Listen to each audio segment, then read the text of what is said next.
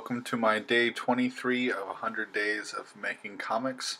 The comic making adventure created by Kevin Cross that says for 100 consecutive days, no matter what's going on in your life, uh, you have to take at least a half hour out of your day to put towards making your comic. Um, for me today, that uh, comic I'm working on is Mr. Green's Monster Zine. Um, all the art's done for it. Um, the stories are written for each of the characters, uh, but what I have to do still is um, basically copy and paste each of them from Instagram, the stories, uh, to Photoshop, uh, format them for that. And there's a, a bit of editing uh, each one of those. Some of them were late nights and putting the story together, and the story's there, but some of the sentencing and phrasing, um, just semantic stuff, will probably have to be fixed a little bit. So that's why I got started on tonight. I got uh, uh, two of those done. Um, only two because it took me a while to actually figure out how to accomplish this in Photoshop, which I'm sure for a lot of folks is an easy thing that goes pretty quickly. Uh, but for me, um, it's most things I do in Photoshop are kind of a first time. And uh, I was having trouble because I cut and paste and post it over there, but it was posting in just one great big long thing. So I had to learn how to use the pen tool, and uh, definitely just for that specific task. I still know all the other stuff it does, but um, I was able to sort of format the area I needed and do that. I also need to figure out because uh, it'll be an image on one side and then text on the other, similar to like a you know kid's storybook or something like that. Um, but I want some other little flair stuff on the page, like more than just the text. I don't know if just uh, like scroll work in the corners, that type of thing. I'm not sure exactly what. Um, an image kind of grayed out uh, with the opacity down on, you know, behind the text. Uh, I'm not sure. We'll see. Um, but that's what I kind of got going on for that. Uh, I'm not showing that because I don't um, have a bunch of, or I don't know how to do the screen share thing too well, and and just it's not interesting at all. Um, uh, the images I am showing you uh, for my challenge kind of this week is uh, families in town, which I'm so excited to see my mom. Um, but as I'm sure all of us know, family stuff um, can bring a certain amount of anxiety, but you know, it's all good. I'm, I'm, glad we're spending time together and we're having a great time so far. Uh, but the uh, day was a bit long, and so it's a little, little bit late getting to this.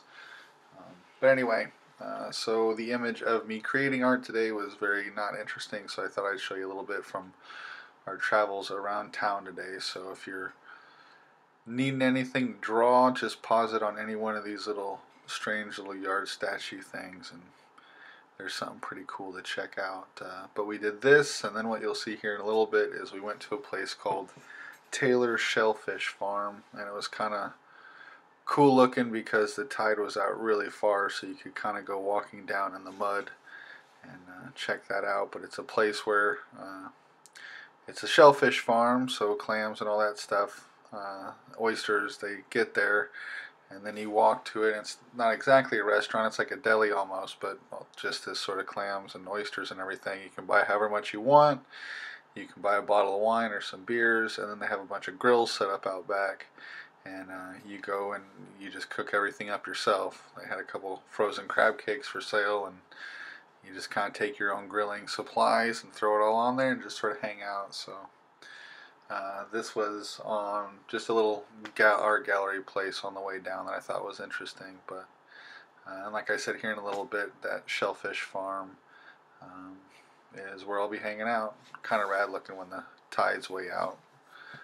Well, there it is. Anyway, folks, I'll let you uh, just check this out for the remainder. Cheers, and uh, I don't have much else to say today. It'll be a challenge getting more stuff tomorrow. I think the best thing I, I, didn't get any writing in today like I thought I might, kind of in between stuff, because uh, I'm wanting to write down more stuff on October and really try to get some legs underneath that story and project as I'm wrapping up this one. I would like to be further along on that, but uh, hitting a little bit of page fright, writer's block stuff. Not exactly really just need to devote some time to it. So I'll still take my notebook with me tomorrow as we go out traveling and if I get any ideas or maybe just not wait for ideas but just start writing and see what happens. But probably format some more pages tomorrow night because it's something that's got to be done. It's not real glamorous work. And uh, hopefully I'll have some other interesting um, footage for you tomorrow. Um, like I said, it's kind of the easiest thing when uh, my folks are in town to just snap some interesting stuff to show you guys. Work on the stuff when I get home and upload it. If I'm drawing something, I, you know, I'd show you a photo of that. But for formatting text in Photoshop, that that's lame. Anyway, you guys take it easy. Uh, have a great night, and we'll see you tomorrow. Peace.